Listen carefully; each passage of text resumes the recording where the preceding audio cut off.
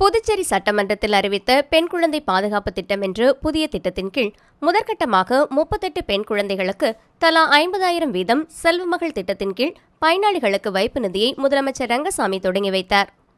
புதுச்சேரி சட்டமன்றத்தில் அறிவித்த பெண் குழந்தை பாதுகாப்பு திட்டம் என்ற புதிய திட்டத்தின் கீழ் முதற்கட்டமாக முப்பத்தெட்டு பெண் குழந்தைகளுக்கு தலா ரூபாய் ஐம்பதாயிரம் வீதம் ஒவ்வொரு பெண் குழந்தையின் பெயரிலும் சுகன்யா சம்ரிதி திட்டத்தின் கீழ் கணக்கு துவங்கப்பட்டு வைப்பு நிதியாக வங்கியில் செலுத்தப்பட்டுள்ளது. அதன் வங்கிக் கணக்கு புத்தகத்தை முதலமைச்சர் ரங்கசாமி பயனாளிகளுக்கு வழங்கினார். நிகழ்ச்சியில் மகளிர் மற்றும் குழந்தைகள் மேம்பாட்டுத்துறை அமைச்சர் தேனி ஜெயக்குமார் மற்றும் துறை அதிகாரிகள் உடனிருந்தனர். புதுச்சேரி மாநிலத்தில் வறுமை கோட்டிற்கு கீழ் வாழும் திட்டத்தின் கீழ் முதற்கட்டமாக தட்டாஞ்சாவடி மற்றும் மங்களம் தொகுதியைச் சார்ந்த பயனாளிகளுக்கு அடையாள அட்டை வழங்கப்பட்டது.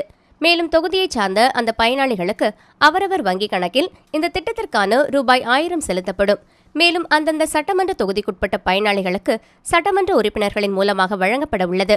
இந்த திட்டம் மகளிர் மற்றும் குழந்தைகள் மேம்பாட்டுத்துறையின் மூலமாக செயல்பட உள்ளது.